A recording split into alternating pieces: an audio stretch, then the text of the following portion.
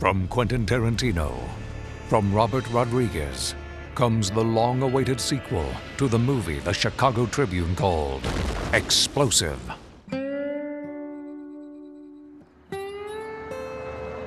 Listen up, man. That Mexican bank deal's back on. We gotta move double fast. The plan was simple. Pack a bag, bring your 45, and be ready to roll at high noon. But when five criminals headed south for the big score, We're about to be millionaires. somebody changed the rules. Vampires, Ray Bob. Get out of there!